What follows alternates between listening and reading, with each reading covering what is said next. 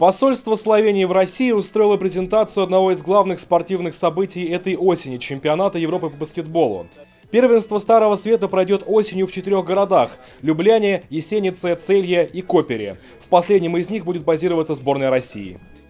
Копер предлагает большой выбор местных блюд и вин. Наш город отлично подходит для активного отдыха. У нас очень красивая местность, по которой можно совершать велосипедные прогулки, а в горах можно будет заняться альпинизмом.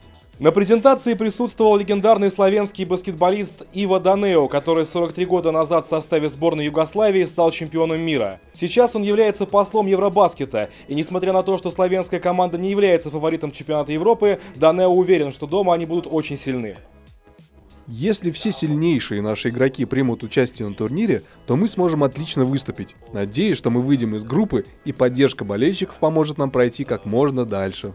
Сборные России и Словении получили сложных соперников по групповому этапу Евробаскета. Тем не менее, посол чемпионата Европы надеется, что эти две команды встретятся на более поздней стадии турнира. Хотелось бы встретиться с Россией в финале, как это уже было в 65 году.